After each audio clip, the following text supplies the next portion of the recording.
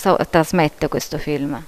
Il film trasmette nella sua narrativa, quello che la regia ha scelto di fare, in particolar modo in questo periodo storico che stiamo vivendo, che si accomuna molto a quello di Frade Ghezzi, perché lui vive tra il fine 800 e gli anni 50, in un periodo dove c'è la,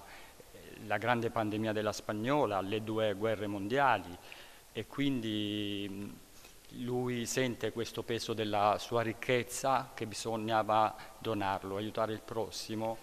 un film, quello presentato in conferenza stampa, che ripercorre la vita spirituale del frate e ricorda i personaggi a cavallo di fine Ottocento, come il compianto dottor Vito Fazzi, che operò per la prima volta di cancro il giovane Fra Giuseppe, ritenendo che non sarebbe mai guarito, mentre constatò in seguito che la grande massa era sparita, anzi non esisteva traccia nemmeno dell'intervento, come se non ci fosse mai stato. Presentiamo oggi questo, questa nuova opera, il film L'uomo l'uomo della carità. Perché questo titolo? Perché tutta la vita, nelle varie stagioni della vita di Fra Giuseppe, sia dalla fanciullezza, l'adolescenza, la giovinezza e poi la scelta radicale a 33 anni di essere frate minore, ciò che ha guidato è l'amore per il prossimo, nonostante che lui venisse da una famiglia nobile, era conte della famiglia Ghezzi e quindi Fra Giuseppe attraverso quel segno visibile, la bisaccia, ha portato il profumo della carità tra la nostra gente, nei nostri paesi,